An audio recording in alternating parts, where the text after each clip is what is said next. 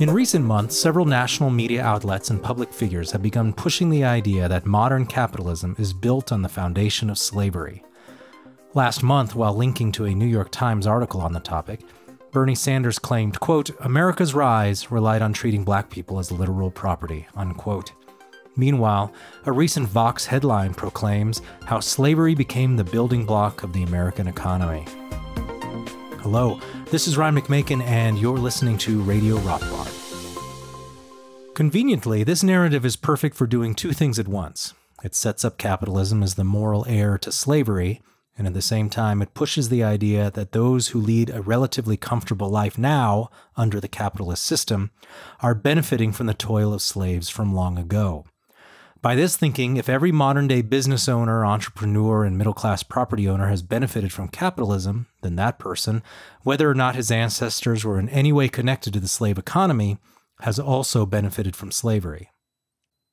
If the strategy succeeds, then modern day capitalists can be shown to be, in a sense, on the same moral plane as the slave masters of old. And of course, capitalism is also shown to be morally repugnant. Fortunately, the evidence doesn't support the theory. The slave economy was never the engine of American economic growth, and capitalist systems never needed slavery to succeed. Modern day anti capitalists aren't the first to use this tactic. This version of history claiming everyone gets rich off slavery has a lot in common with the propaganda spun by slave owners in the antebellum South. The goal was to attack the idea that non slaveholding Northerners were morally superior to slave owning Southerners. The message was, we are all equally responsible for slavery. One part of the strategy consisted of claiming that some Northern abolitionists were hypocrites for participating in the slave trade as owners of shipping firms that served the slave economy.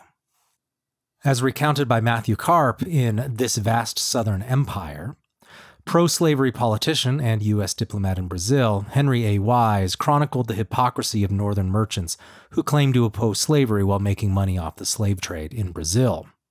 And that's just one example. But while this sort of thing no doubt made some northern merchants look bad, these claims nonetheless failed to make the case that northern farmers, mine owners, and other capitalists in general were getting rich from slavery. Far more useful in spreading the blame about slavery was the King Cotton argument, which pushed the notion that most of the industrialized world depended on the cotton economy. Karp continues. Quote, Slaveholders in the 1850s seldom passed up an opportunity to sketch the inexorable syllogism of King Cotton. The American South produced nearly all the world's usable raw cotton. This cotton fueled the industrial development of the North Atlantic. Therefore, the advanced economies of France, the northern United States, and Great Britain were ruled, in effect, by Southern planters. The conclusion Southern drew from this King Cotton model were no less grandiose than their premises. DeBow's encyclopedia declared that cotton was, quote, the most beneficent product that commerce has ever transported for the comfort of the human family, unquote. Without Southern cotton, it was claimed Northern industry, assumed to be dependent on cotton for textiles, would suffer a crippling blow. Thus, the Northern and European capitalists were thought to be at the mercy of the cotton producers and to owe their success to the slave economy. So widespread was this belief that Southern political theorists believed the South ought to forget about diversifying its economy. George Fitzhugh, for example, insisted the South should focus on putting all its eggs in the cotton basket. Says Fitzhugh, it matters little who makes our shoes. Indeed, the South will command a fatal blunder if, in its haste to become nominally independent, it loses its present engines of power and thereby ceases to be really independent. Cotton is king, and rice, sugar, Indian corn, wheat, and tobacco are his chief ministers. We should not jeopard this great lever of power in the haste to become like Englishmen, shopkeepers, cobblers, and common carriers for the universe. Now, the fact that Fitzhugh thought it was a terrible idea to become shopkeepers reflects Fitzhugh's uh, reflexive anti capitalism. But uh, the the general idea here being that uh, basically just growing cotton makes you the most powerful place in the world. Ultimately, so confident were many Southerners that they could use the cotton economy to control the world, Senator James Hammond of South Carolina concluded, quote, You dare not make war on cotton. No power on earth dares to make war upon it. Unquote. Needless to say, Hammond and the purveyors of the King Cotton theory were wrong about the extent of global political power generated by cotton. It turned out that the world could survive without Southern cotton, and, more importantly, the world did not need cotton produced specifically by slaves. Nor was it true that the world needed the cheap labor of slavery to produce goods and services economically. Northern immigrants disproved this even before the war. The pretensions about the necessity of slave cotton became more abundantly clear after the war. Even in the wake of the Union Army's scorched earth campaign against the South, cotton production began to recover within only a few years of the war's end. Cotton production, now using non slave labor, had returned to peak levels by the 1870s. By the end of the 19th century, cotton production was more than double what it had been during the antebellum years. Moreover, even during the slave labor era, the Northern economy was hardly doomed to failure without Southern cotton. Textiles were not the only thing people needed to meet their basic needs, and slaves were not the only thing merchants could make money shipping.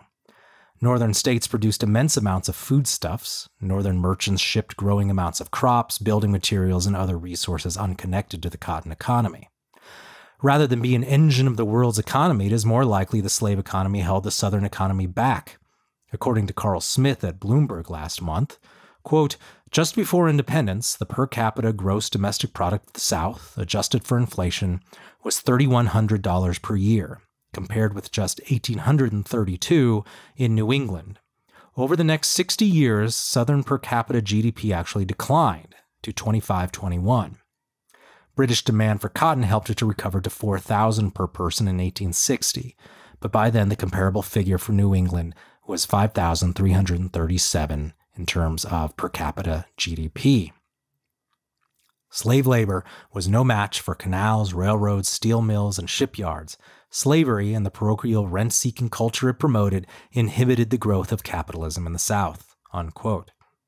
The fact that many industries in the US North and in Western Europe benefited from slave producing Southern cotton does not prove that these economies needed slave cotton to thrive or survive. The world's industrial economies have gotten along just fine without it. Nonetheless, certain leftists are now trying to revive the old antebellum theory that the capitalist economy is built on the backs of slaves. The slave drivers of old would no doubt agree, but the theory is just as wrong now as it was then. Thank you for listening to Radio Rothbard. Have a wonderful day. For more content like this, visit Mises.org.